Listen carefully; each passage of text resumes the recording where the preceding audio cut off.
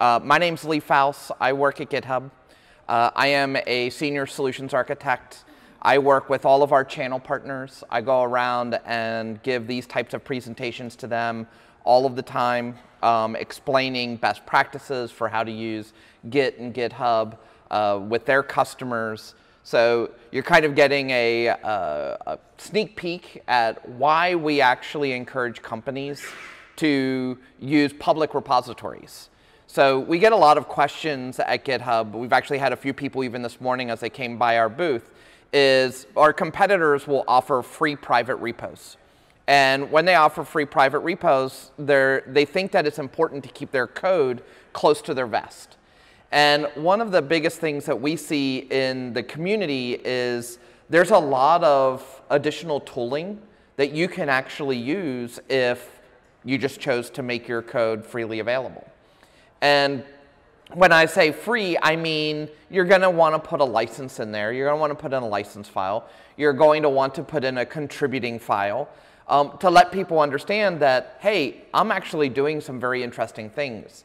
Uh, one of the projects we'll actually look at today is a group that I'm mentoring out of Brazil that has an open source uh, chat application that looks and feels a lot like Slack, but it's completely open sourced. It's written completely in Meteor.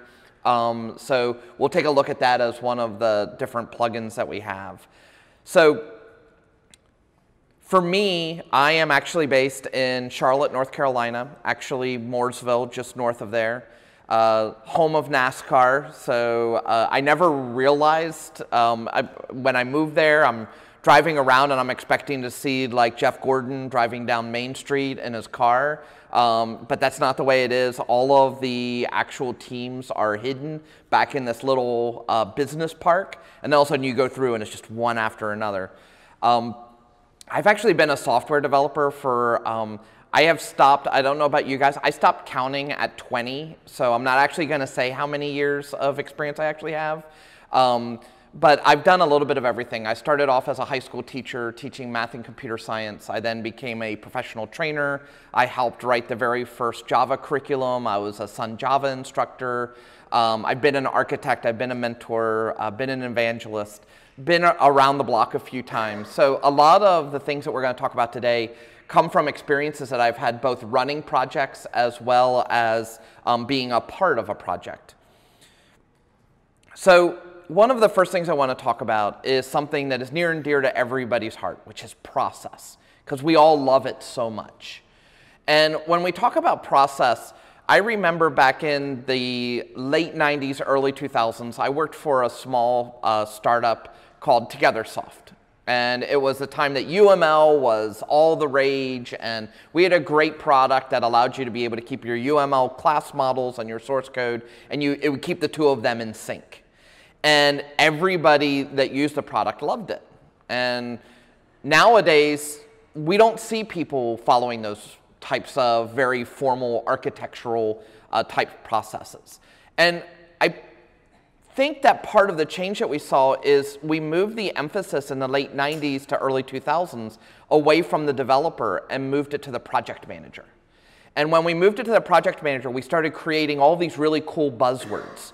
Scrums, extreme programming, pair programming, test first development. And the people who did the process found this really neat way to feel like they were part of the development process and they had control of their developers. Now, those of us that are developers in the room, how many developers do we have? Okay, got a few developers in the room. So we realize that nobody will ever control us. So what we ended up doing is we ended up creating this really bad process around how we deliver applications. So the process people would sit there and say, what we're going to do is we're going to start off by creating issues, having bugs, features, having all of these things available to us, and we're going to create this backlog of all this work that needs to be done.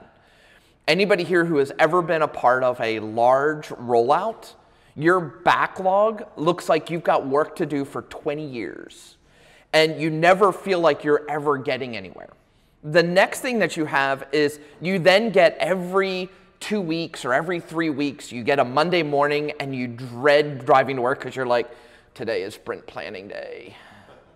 And you get in that meeting and you're sitting down, and the developers are sitting in this meeting talking to somebody who has no idea what it, do, what it takes to actually build software. And even worse, there's nobody in the room from operations, there's nobody in the room from QA, and you're sitting there and you're having this conversation about what you're about to build. And once we go ahead and say, yeah, you know what, I think these are the four or five things I think we can complete during this next sprint you go off and you send your developers away. And they all sort of go off on their own little islands. And they take their task and they start building. Now, unfortunately, one of the things that I go around and I talk to our customers about is we've lost the science in computer science. And what I mean by that is it's more about the deliverable than about the hypothesis and the testing of possible scenarios to create repeatable patterns for the overall delivery of your application. So I can tell you that I laugh and I joke, but truly, I believe that we have gotten to the point, especially with GitHub. I don't know if I've actually written a ton of code lately. I do a lot of copy and paste. So I go around, I find a method. Yeah, that's exactly how I want to do this. Oh, there's a gem that already does that for me. Oh, there's a jar that does this.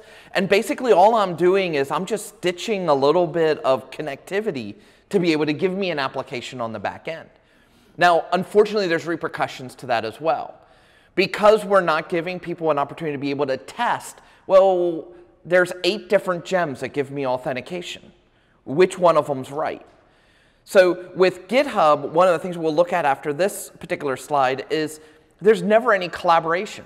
There's one developer who makes the choice for an entire organization that creates technical debt because they chose one gem and they chose that gem because it was good enough and they don't rely on anybody else from any other teams that say, hey, have you checked out this one?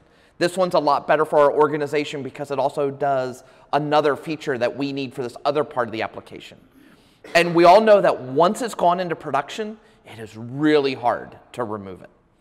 So we go through this process and the developer goes ahead and completes it. And luckily, if you're in a lucky environment, you've got some type of continuous integration on the back end.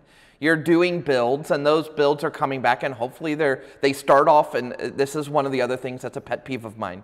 The first time you do your first commit, I really hope your build fails. In all honesty, it's actually a good thing to have a build fail. If your builds are always green, something is wrong. It means that you're not doing the right type of testing. It means that the developers that you have are um, not including performance metrics and they're not deploying and using things like Selenium to be able to test the UI. They're, we're not perfect. And as a developer, I can tell you, I am far from perfect. But one of the things that I love to see is an application that gets better and better and better over time. And as I'm adding some code, there's always more code that's being reduced. And that's really critical when we talk about CI and CD pipelines. The biggest thing for us is the reason why we want to deploy, deploy more often into a dev environment or into a staging environment is we want to know what breaks when we deploy we don't know that, oh, we have a limited set of, we only have um, uh, five one terabyte drives. Nobody ever told us that we were collecting 100 terabytes worth of data. So there was never any planning for it. So as we go through and we're doing these deployments, we can start to see what those cycles actually look like, and we can start preparing and start being proactive in those cycles. Now, at the end of a, a sprint cycle, we wait. So a developer who has a task for only two days, after two days, they pick up their next task. And they start building the next two-day task. And then they build the next two-day task. And then they build a one-day task. And then the next thing you know, at the end of two or three weeks, that one developer has maybe built four or five different things in that one sprint. Now we do a code review. This is the best time to do a code review. I have no idea what I built those first two days. And now you're sitting down and you pull room, you get a nice little uh, projection screen, and you say, okay, the project manager goes ahead and collects and says, we're now going to talk about everything that's been changed. And you have a number of people on a Friday afternoon, ACC tournaments on, you want to get home, you want to watch the big Georgia Tech game that night, and are you really going to speak up and say, you know what, I really think that those four things need to be redone? You're just trying to get through that meeting and you're trying to get done with it. So what happens is, is at the end of that first code review, the project manager sits there and says, hey, I need everybody to vote. I need a go, no go decision. I don't ever think I've ever been in a meeting like that where the developers have said, yeah, it's a no go. We're going to have to push. We're going to have to wait. Operations team will tell you it's a no-go, but the developers will never say it's a no-go. So the project manager thinks everything's good. So then they push it into QA. QA goes through their cycle. They go ahead and they do all of these tests. And the tests come back and almost 80% of it's failing. And all of a sudden the project manager goes, I don't know how this can be. The developers all said it's working perfectly. And QA says, yeah, we all the functional tests, 80% of them are failing. I think it's wrong. So then a, a negotiation takes place between the project manager and the QA manager saying, how many of these things are, are they really going to hit? Really? I mean, if they go ahead and they type their password in correctly three times and we just log them in anyway, is that really a big deal? I mean, come on. So we go through another set of subjective go, no go. And now all of a sudden you've got a project manager and a QA manager who unfortunately are given a bonus based on if they make their schedule. Not on what the quality of the software that's being released, but it's based on are they actually delivering frequently and are they making their dates. So now the QA manager and the project manager have this little conversation. Do, do we go? No go. L let's go. We'll go ahead. We'll go forward. If we hit some issues in production, we'll just we'll play it off and we'll just issue those items back onto the backlog for the next set of for the next sprint. So now all of a sudden it goes into operations, and this is the worst part. Because now all of a sudden we're trying to deploy it, and none of the scripts work. We're using an application that's running Java, and the container, the JVM needs 16 gig of memory, and we're trying to run it on machines that only have eight. Um, our infrastructure team is trying to move containers, and we have not built an architecture at all that's microservices enabled, and we're trying to do this huge, massive database migration. So what ends up happening is we go through another set of go, no-go decisions, and it's very subjective. And what happens is, is the operations team gets it on Thursday, and you've got a scheduled delivery for Saturday. The last thing they want to do is be the people at the very end of a four week or three month cycle of all of these changes and sit there and be the person to say, I can't do it. They're expected just to fix it, just make it work. So they end up going ahead and agreeing, I'll push it one last time. So as we go through this process and we ship, we are not shipping quality code. It has nothing to do with a developer not knowing what the requirements was. It has nothing to do with the QA team not doing their job. It has nothing to do with the operations people not providing the infrastructure to be able to run the application. It's about transparency. It's about collaboration. Nobody's talking to anybody else through that entire cycle. So at GitHub, one of the things that we talk about is what is the status? we never get continuous feedback on what is the current status. Is it broken? Is it deployed? Did we meet our customers' needs? We wait until the end of that entire process to then gather feedback. So at GitHub, one of the things that we talk about in a modern CI CD DevOps workflow, and DevOps to us is not a technology. It has nothing to do with if you're using Puppet or if you're using Chef. It has nothing to do if you're using containers or if you're deploying to VMs or if you're deploying to the mainframe. DevOps is a culture, and that culture is transformative inside of an organization. So I talked to a lot of our partners, and it's really interesting. I've now sort of figured out that they all fit into one of two categories. They either want to do application automation, which takes them to the point that they're building application and they build a package. And that package could be a Docker image. It could be a VM image. It could be a jar. It could be a gem. It could be a war. It could be an ear. It could be a DMG. It could be a lot of different things, but they're creating a package. But that's where they stop. Then I have other folks that are doing infrastructure automation. That infrastructure automation team are the ones who are writing the puppet scripts, the chef scripts. They're determining how do we automatically provision the disk? How do we put monitoring in place at the hypervisor level to know what's deployed where. They're doing inventory management to know which database is tied to which application, which is tied to uh, which CDN on the front end. They're keeping track of all of that infrastructure and they're all trying to automate it because just like everybody else, their budgets are shrinking. So the business wants it delivered quicker and everybody else in the team, their roles are increasing but the number of people is decreasing. And I don't think it's decreasing because we just don't have budget. It's because we don't have people to know how to ask for budget. And we also don't have people qualified enough to be able to fit into the roles that exist. So people just get frustrated. And they sit there and say, We've had this opening in operations for a, a puppet administrator for six months. We can't find anybody. So they just go ahead and just close the rec and just say, We'll send somebody to puppet training. And now that person has one more task on their things to do. So from a GitHub perspective, we have something inside of GitHub called a pull request. How many people here know what a pull request is? Wow, this is, I have been at GitHub for 18 months. I have been a GitHub user for eight years. This is the first time that I would say 80% of the room actually knows what a pull request is. So we're obviously getting out there and we're talking about it in the right way. So now when we talk about what this workflow looks like, it's no longer agile, lean, DevOps. It's not anything else. It's just collaboration. It's about getting people together and actually talking about things together and actually making sure that everybody is making an informed decision.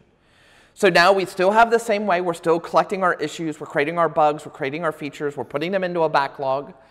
But we're collaborating on that backlog with QA, with operations, with the developers, with the project managers, with the business analysts. It's all together. Everybody is working together. Then what we do is in, we take a developer they're no longer out on an island. The first goal of a pull request is the first thing that they do is they create a commit. And that commit could just be a unit test. It could be um, a design document. It could just be a markdown file with what they are planning on building and what steps they need to do.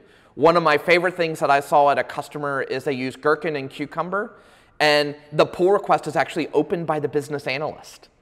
The business analyst writes the cucumber test and actually puts that into a branch, and then that's where the developer actually comes in and builds the implementation. So that's a, a much higher level. They're, they're setting the bar really high for their organization, but they are also releasing almost four times a day into production. And it's because that they've they're collaborating. The business analyst has seen, again, it's copy and paste.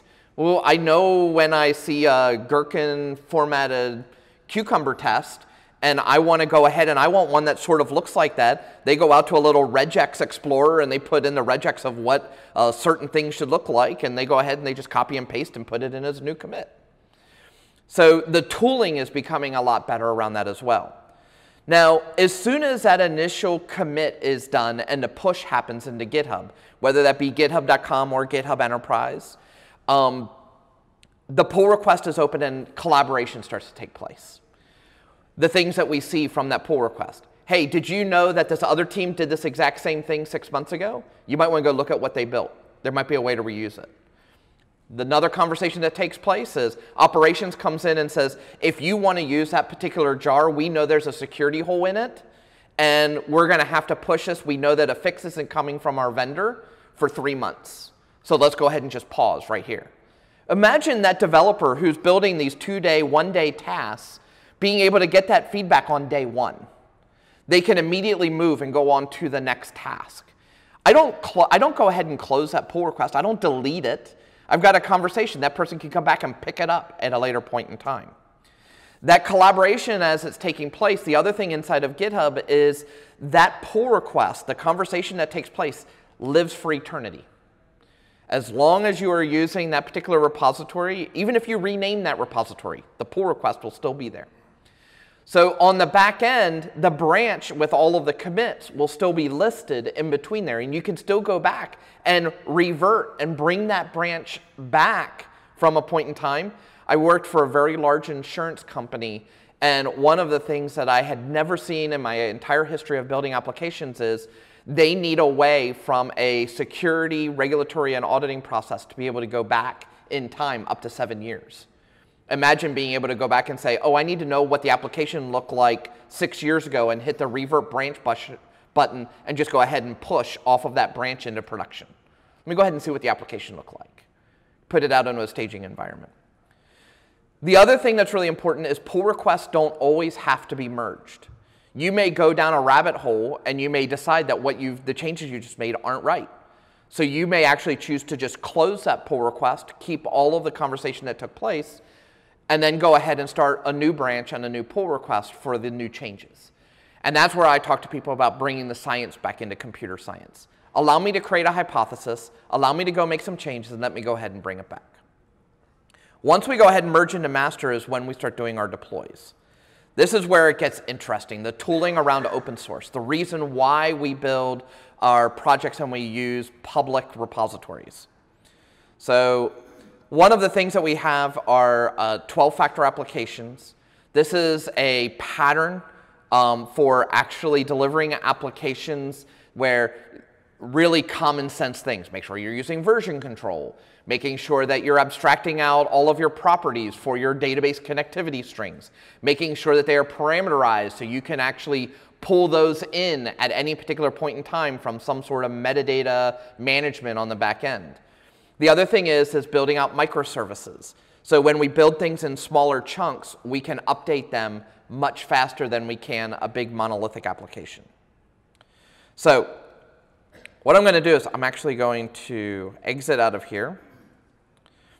So this is my alter ego. Let me go ahead and uh, maximize this. So actually, not yet. So um, one of the things inside of GitHub is you've got your repositories. So this user continuously knows that there's this other really cool person at GitHub. And I'm going to go look at his repositories. There he is.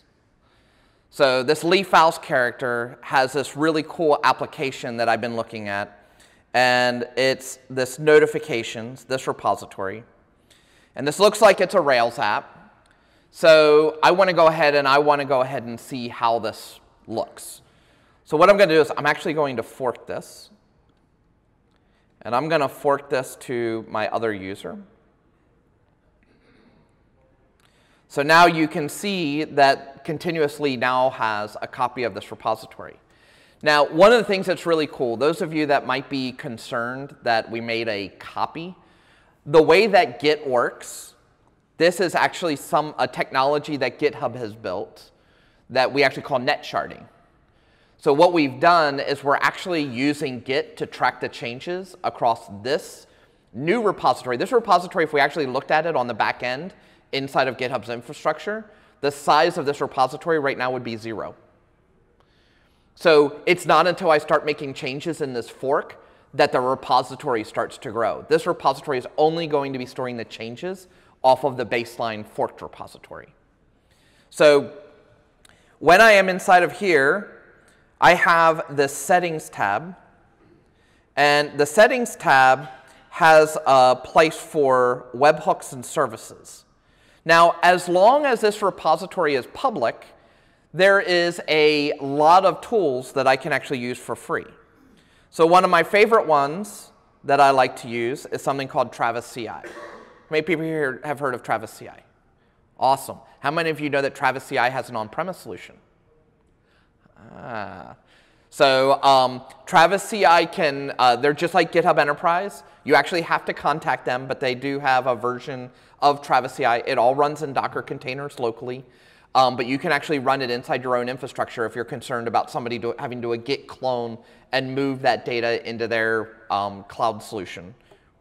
So what I'm going to do right now is I'm going to sync accounts.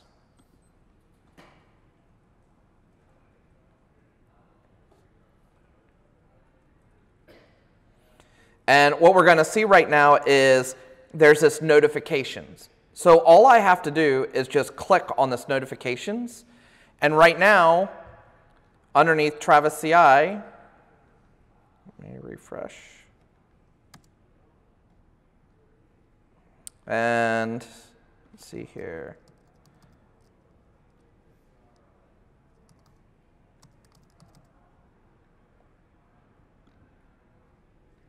Why is that not showing up?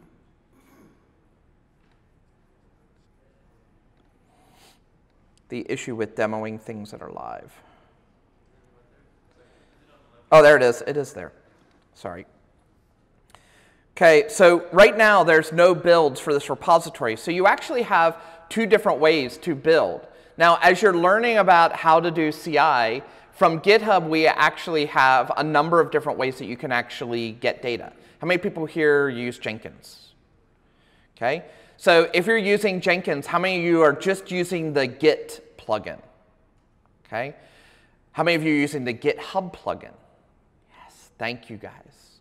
One of the reasons why we like people to use the GitHub plugin is because it will actually use a webhook and it will actually go ahead and look at the changes that have happened when a push occurs. When you're using just the Git plugin, it polls. So you basically specify in a regular expression the branches that you're watching, and then every five minutes, every 10 minutes, whatever it is, it's going to go ahead and poll to see if there are any changes inside of that repository. The bad thing about that is when you are doing polling, you are actually not doing CI. Because what happens is if I go ahead and I set my poll to happen every hour to look for changes, I may have had 28 changes occur in that hour. So I'm only going to get the status of the last bill of the last push that happened just before the hour that you decided to trigger your build off of. So there may have been 27 good builds in between there, and the 28th one is the one that failed. So you're not seeing all of the good stuff that's happened, you're only seeing the last bad one. So when we actually use um, pull requests and we use something called webhooks, webhooks inside of GitHub allow us to be able to um, watch whenever a change occurs inside of a repository and automatically go ahead and do a build. So here what we can see is, um, here are pull requests. So what we could do is we can look at our settings. And when we look at the settings, we can say build only if there is a Travis YAML file. This YAML file, there are a lot of different configurations that you can do. So here's some of the docs that you have for Travis CI. So you can do things like automatically deploying to Heroku.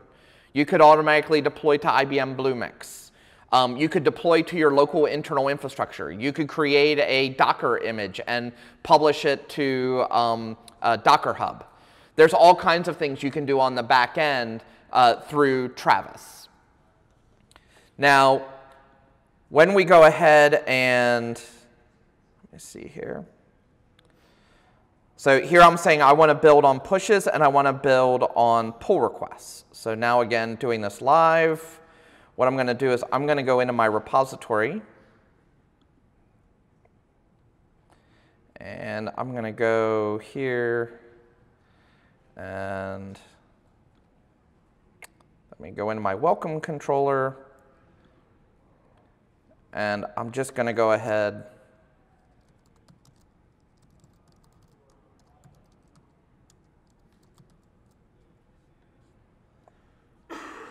Now, this is something that was new probably halfway through last year. Um, one of the things a lot of people don't realize is from inside of GitHub, we have a full-fledged web editor. So as you can see, I just made changes directly to the code directly from inside of GitHub. Um, when we're in here, right now, we know that one of the best practices is, right now it's asking me if I want to commit directly to master. Probably don't want to commit directly to master. What I can do is I can create a new branch.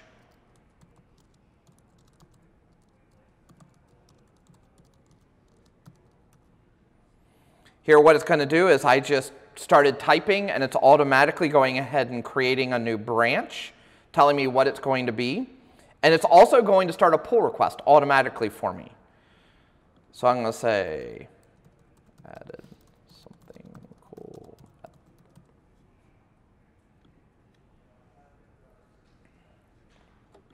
The other thing when you're in here is we have a lot of people that like to have fun with their pull requests. So I'm going to say use some emojis all of those things. That's the developer side, of, that's the operations side of a lot of this. What I hope that you saw today is how you can bring operations folks into the conversation so they can actually see the changes that are actually coming forward. Thank you very much. I know that I'm out of time, probably a little over time. Uh, I'm more than willing to take any questions afterwards. Uh, so come on up and ask any questions. Thank you.